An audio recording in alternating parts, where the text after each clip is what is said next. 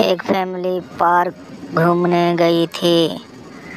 वहाँ एक खतरनाक चुड़ैल आ जाती है और उनको डर पाना चालू कर देती है।